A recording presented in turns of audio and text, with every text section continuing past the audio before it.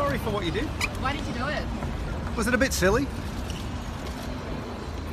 How would you describe that day?